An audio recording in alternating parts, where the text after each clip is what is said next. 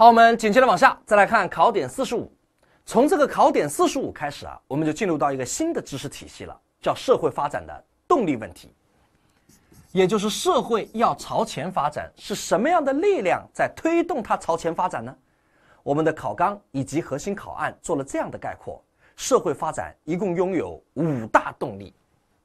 从考点四十五开始，四十五、四六、四七、四八、四九这五个知识点分别展开阐述这五大动力。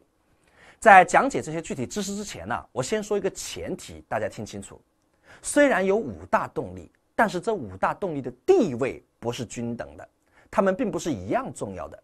有些特别厉害，称之为根本动力，称之为决定性的因素；还有些只不过是个动力而已，只能叫重要影响因素。听明白我的意思没有？注意它的层次啊！好，我们带着这个一个一个来学习这个动力。首先，第一大动力称之为社会基本矛盾。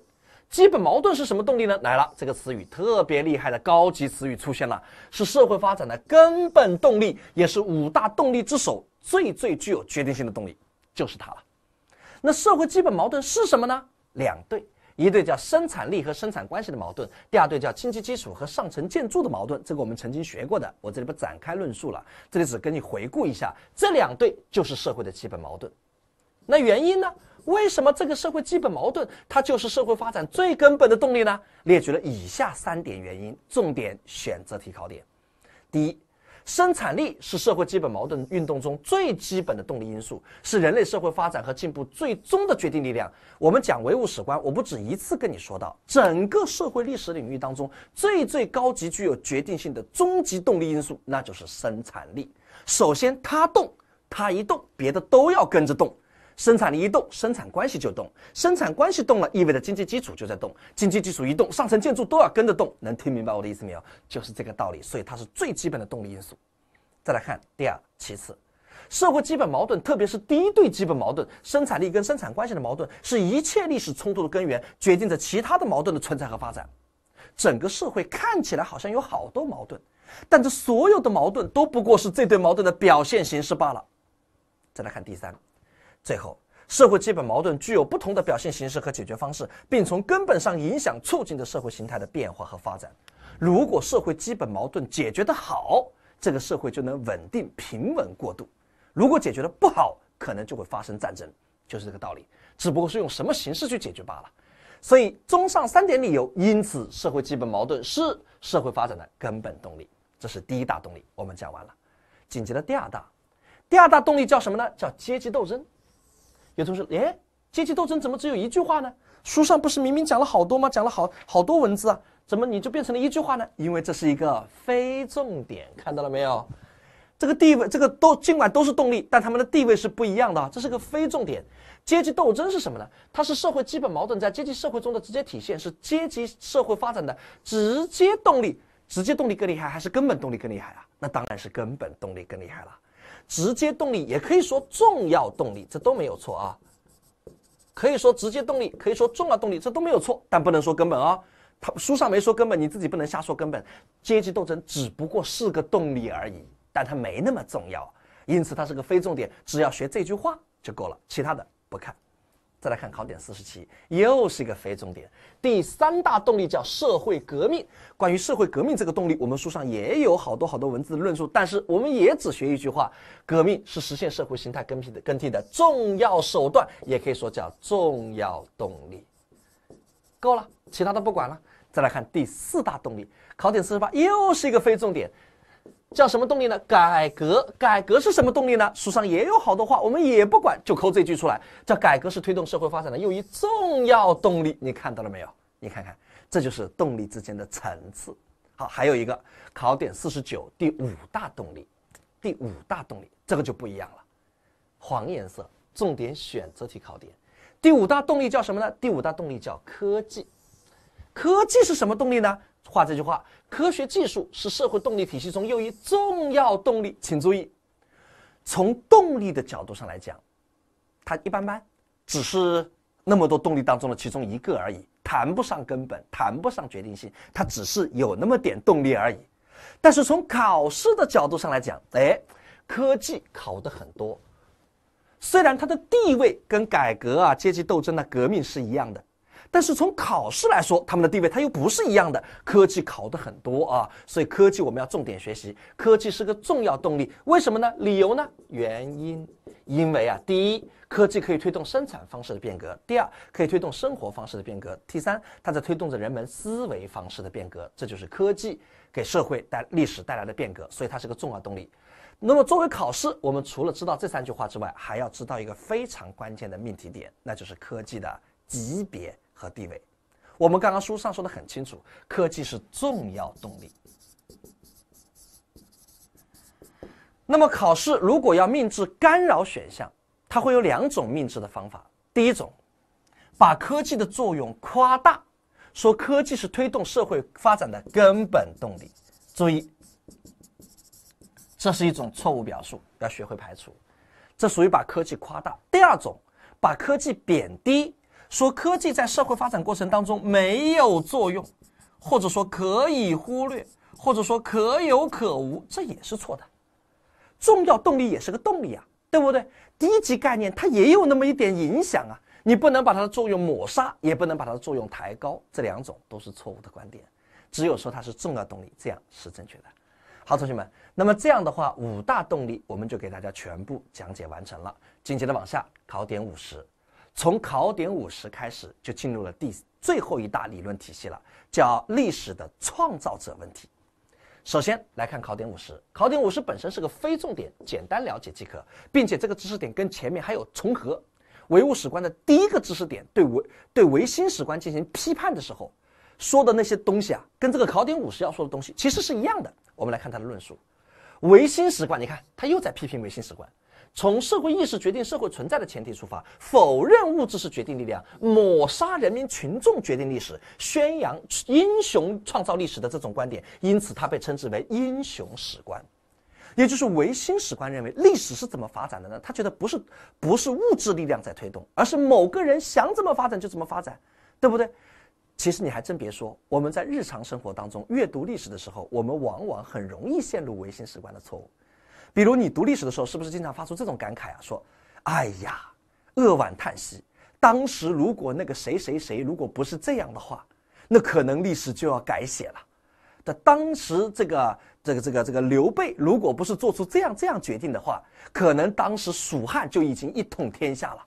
我们经常会发出这种感慨，好像觉得，哎，就是某个人的一念之差，某个人的一个想法，好像就能决定历史，这就是英雄史观。我们其实我们自己也很容易陷入英雄史观，但是我们现在要批评英雄史观。历史不是某个人决定的，而是整个大潮流人民群众决定的。好，考点五十，简单说下就可以了，并且不是什么新知识，我们学过的。再往下看，考点五还是考点五十啊？唯物史观考察历史创造者的原则。你刚刚批评了人家唯心史观错哪了？那现在你唯物史观是怎么研究历史是谁创造创创造创造的呢？好，有以下几条原则。第一。唯物史观立足于整体历史过程来探究历史创造者，就我们不会截取一个历史片段在那里扼腕叹息。当时如果他不这样的话，就会怎么？我们不讨论这个问题，我们是放在整个历史的大环境讨论。你会发现，无论谁做什么决定，他都逃不脱一个整个大的历史规律在促使他去实现这个、实现这个、实现这个。人只是历史的工具。在历史面前，我们只不过去遵从历历史的规律，去实现历史该这么去演绎罢了，是这么个道理。因此，我们不讨论那个小的片段，局部看问题。我们要立足于整个历史过程，探讨历史到底是谁创造的，某个人决定不了。第二，唯物史观从社会历史发展必然性的角度来考察说明历史创造者的问题。所谓的必然性，其实也就是规律的角度考察，其实是规律的角度考察，在历史上某个人。他今天这么想，然后使得历史这么演绎。表面上看，好像是这个人在决定历史，但其实不是的。这个人他这个时候他就一定会这么想，为什么？因为后面有一个历史规律在驱使着，决定的这个人他只能做出这种决定，否则他就不会成功。就这个道理。再看第三，唯物史观从人与历史的关系不同层次上来考察人的历史活动它的作用，这里面包括了每个个人。包括了整个人类群体，包括了人民群众，甚至包括了一些不是人民群众的人。我们一会儿会做详细的阐述。这是唯物史观考察历史创造者的原则。好，考点五十，差不多就这些知识，简单了解即可。这是个非重点啊，一般不怎么命题。紧接着往下走，考点五十一，人的本质，现实的人及其本质，重点选择题考点。唯物史观要研究的人是什么人呢？叫现实的人。什么叫现实的人呢？大家在书上找到相应的位置，跟着我一起画线啊。什么叫现实的人？现实的人，他不是处在某种虚幻的离群所居或固定不变状态中的人，而是处于现实中可以通过经验观察到一定条件下进行发展过程中的人。很多同学读完了这个概念之后，完全懵了。什么东西啊？可以通过经验观察到的人？难道还有观察不到的人吗？那不是鬼吗？同学们，我们不是这个意思。我们要表达的是，唯物史观研究人，必须是研究你我他。唯物史观研究人从来不把人撇开，空泛抽象的谈人。能听明白我的意思没有？请注意这两个啊，一个叫抽象的人，第二个叫具体的现实的人。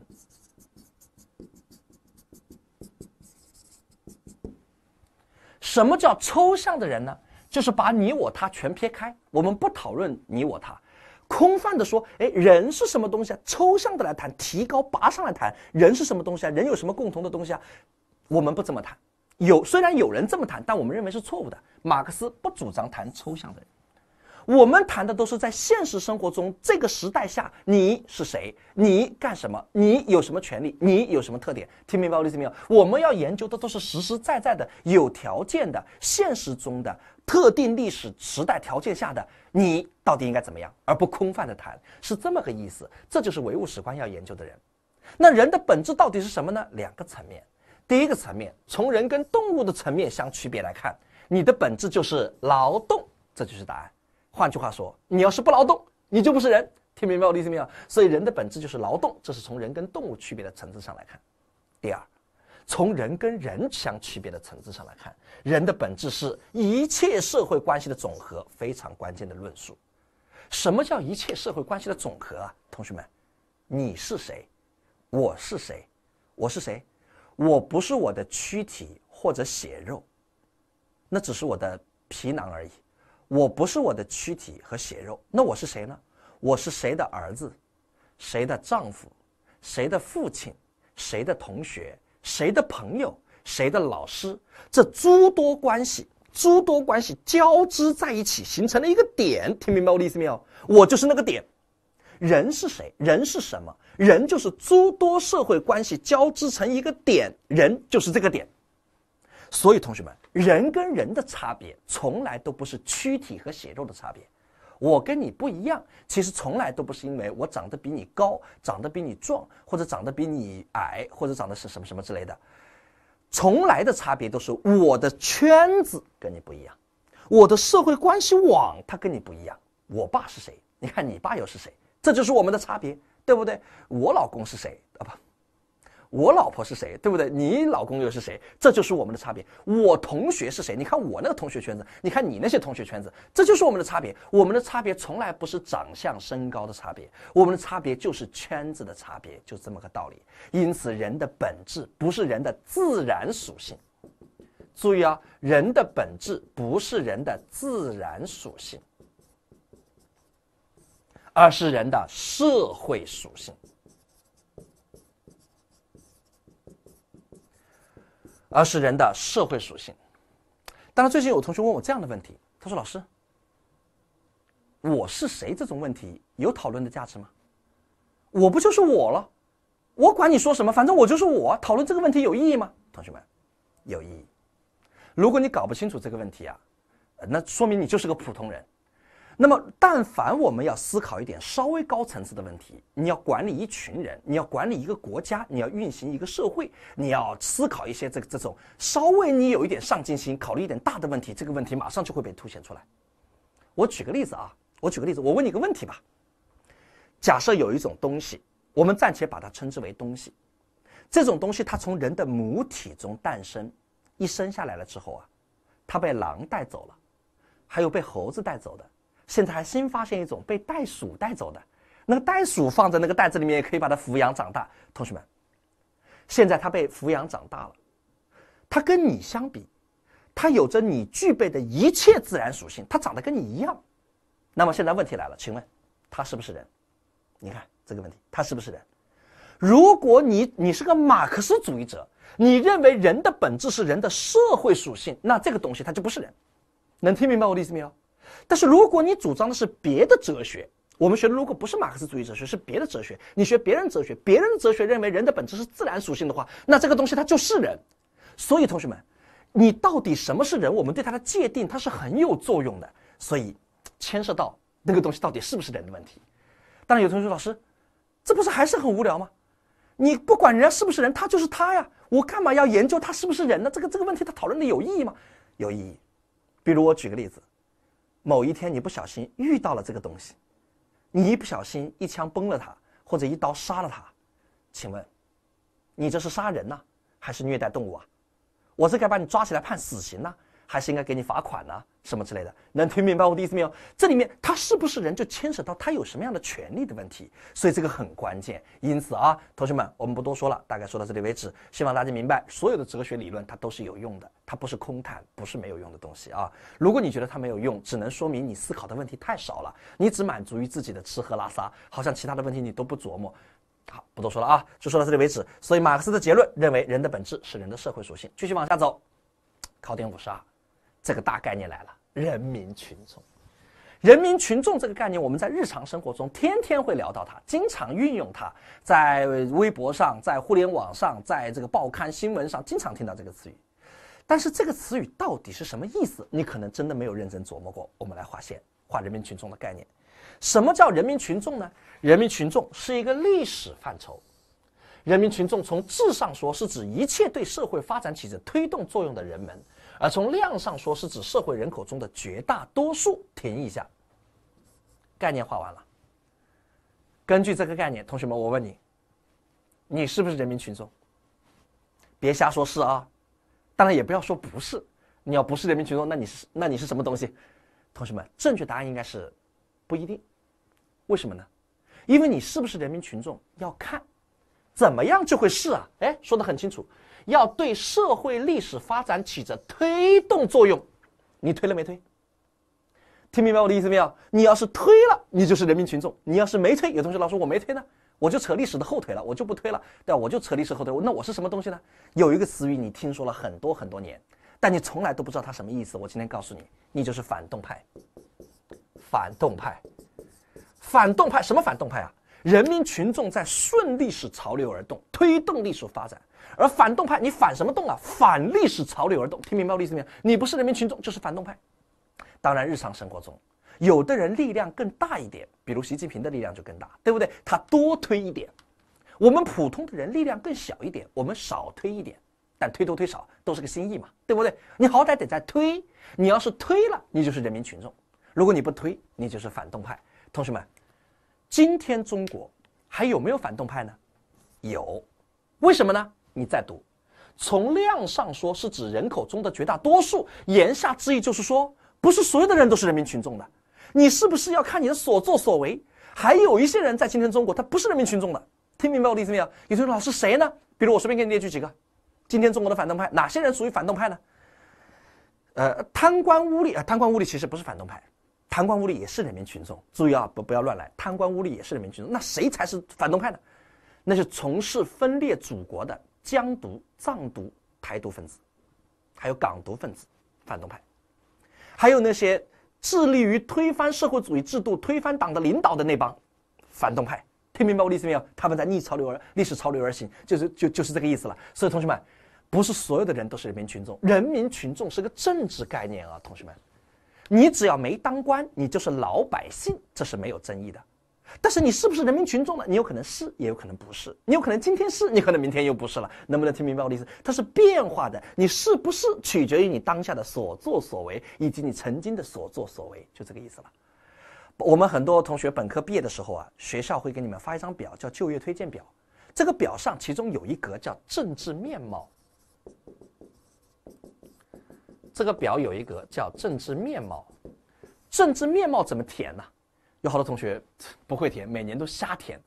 你如果是中国共产党党员，你就写中共党员；如果你不是中共党员，加加入了其他的民主党派，民盟、民建、民革、九三学社、致公等这些党派，那你就写你加入哪个写哪个。如果你什么都没有加入，你写人民群众。能听明白我的意思没有？你你能写这个，至少是确认了你的好人身份。至少你不是反动派，你听明白我的意思没有？所以写这个，这是个政治概念，至少说明我虽然不是中共党员，我也不是民主党派，但我是个好人呐。对，我在顺历史潮流而行呐，这是你的好人身份，就这个意思啊。每年都有些臭不要脸的写什么呢？无党派人士，哇塞，这个真是太搞笑了！什么叫无党派人士？无党派人士指的是没有参加任何政治派别，但具有重大政治影响力的人物。你看，你无党派人士，不要不要笑死人了啊！你就是人民群众，能能是人民群众，你就已经很不错了，你说明你是个好人呢，就这个道理。好，不多说了，希望通过我刚刚的论述，大家对人民群众这个概念有点理解。人民群众最稳定的主体始终是从事物质资料生产的劳动群众及其知识分子。OK，这是概念。紧接着往下，我们来看一道题，看那个概念在题目当中怎么体现，考察你们是不是对人民群众的概念理解深刻了。唯物史观第一次科学的解决了历史创造者问题，认为人民群众是历史的创造者。人民群众是什么？A 量上说是人口中的绝大多数，不错的，书上的原话。B 质上说是一切对历史发展起推动作用的人们，不错的，书上的原话。C 在任何历史时期都不包括剥削阶级，这就有问题了，同学们。人不人民群众跟是不是剥削阶级，它没有必然联系。我们刚刚学了什么叫人民群众啊，在哪儿？在这里。什么叫人民群众啊？人民群众就是对历史发展起着推动作用的人们。那剥削阶级有没有可能也推动历史发展呢？当然有啊。能听明白我的意思没有？在封建社会的时候。其实，地主他也是人民群众，因为那个时候他也在推动历史的发展。他把历史从奴隶社会推向了封建社会，他难道不是推动历史的发展吗？在资本主义社会的时候，资本家其实也是人民群众。注意啊，剥削阶级他也可以是人民群众的，关键看时代、看时期嘛。他那个时候人家也当过人民群众，只不过历史再往前走，他成为了历史的阻碍因素的时候，那他就不是了。所以。他说：“任何历史时期都不包括剥削阶级，有毛病，有问题。你看看，就这么回事。再看第一，最稳定的主体始终是从事物质资料生产的劳动群众及其知识分子，不错的，书上的原话。所以这个题目应该选 A、B、D 三项。这就是关于人民群众的考点。一道真题啊，好好去体会，系统把握。再往下走，考点五十二，原因、理由啊。刚刚我们得出了结论，历史是人民群众创造的。”群众是历史的创造者，理由呢？为什么呢？为什么历史是群众创造的呢？四点四点理由：第一，因为人民群众是物质财富的创造者；第二，因为人民群众是精神财富的创造者；第三，因为人民群众是社会变革的决定力量；第四，因为人民群众是先进生产力、先进文化的创造主体，也是实现自身利益的根本力量。综上，一二三四四点理由，这就是原因啊！所以，人民群众创造历史，注意他们的因果关系。再往下，虽然历史是人民群众创造的。但人民群众创造历史也不是随心所欲，想怎么创造就怎么创造的，他也要受一些条件的制约。有什么条件呢？有经济条件、政治条件和精神文化条件。其中经济条件是根本制约因素。做笔记啊，经济条件是所有条件当中的根本制约因素，就是这个道理了。好，同学们，继续往下，还是考点五十二，方法论。理论学完了，人民群众创造了历史。刚刚理论告诉我群众是什么？为什么群众创造历史？这理论我最喜欢。那么它给我人生有不也不叫人生啊，就给我们的日常生活工作有什么样的启示呢？第一，在理论上看法上我们要有群众观点；第二，在工作中我们要走群众路线。先看什么叫群众观点？群众观点包括人民群众自己解放自己的观点，全心全意为人民服务的观点，一切向群众负责的观点，虚心向群众学习的观点。如果有人问你为什么我们要树立这些观点呢？你就回答他：因为历史是群众创造的，所以我们要树立这些观点。好，再看群众路线，工作中我们要把握群众路线。群众路线包括一切为了群众，一切依靠群众，从群众中来到群众中去。如果有人问你，我们为什么要依靠群众，为了群众从群众中来呢？我们为什么要为人民服务呢？你就告诉他：因为历史是群众创造的。听明白我的意思没有？因为这个理论。所以我们在工作中要把握这种观点，把握这种路线，就是这个道理。最后，考点五十三，也是整个哲学的最后一个知识点，但它是个非重点，它叫什么呢？个人在历史中的作用。这个是针对唯心史观来讲的。唯心史观认为某些英雄的个人他在创造历史，我们不同意。我们认为历史是群众创造的。那说完了之后，那你总得回答一下。那请问个人有什么用呢？我们的基本态度是这样的：即便像那些伟大领袖，即便像那些伟大导师、英雄人物，他其实也创造历史。但不是单独创造历史，我们的基本态度是，他也是人民群众的一员。听明白我的意思没有？他跟人民群众一起创造的历史，他只不过是人民群众当中那个特别厉害的那个人民群众而已。听懂了我的意思没有？个人在历史发展中也有重大作用，尤其是英雄的个人更有重大作用，但他不能单独创造历史，这是我们的基本判定。啊，好，有了这个基本判定，我们划线就可以了。历史人物对历史的发展。的具体过程始终有一定的作用，有时候甚至对某些进程和结局还会有些决定性的影响，对不对？比如说像这个袁世凯，对不对？当历史的车轮已经结束封建社会的时候，你看这个时候他因为他的一念之差，还要复辟帝制，使得历史偶尔还会有波动。有些这种个人对历这个这个这个。他们他不能叫英雄的个人了，对不对？他我们在我们的主流政治书上，他是被钉在耻辱柱上的，就这么个道理。但是像这种很有力量的人，他们真的有的时候对历史的某些结局和进程会有很大的作用。但不管他有多大的作用，他都不能单独决定历史的基本趋势，他只是跟人民群众一起创造的历史啊，与人民一起创造历史。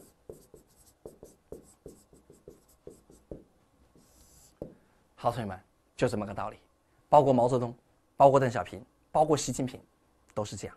他们是伟大领袖，但是他们不单独创造历史，他们跟人民群众一起在创造历史。知识我讲完了，最后我回答大家一个问题。有同学问我这样的问题，说：“老师，我觉得有矛盾。你书上刚刚说了，人民群众就应该是推动历史发展的人，这才叫人民群众。”那么按这个定义，袁世凯那就不是人民群众了，对不对？他肯定就不是人民群众了，因为当历史要这么走的时候，他反过来走，他逆历史潮流而行，那么他就不是人民群众了。那么请问，那袁世凯创不创造历史呢？很多同学问这个问题，这个问题问得很好啊。我们书本说，人民群众才创造历史，反动派是不创造历史的。那么袁世凯就是个反动派。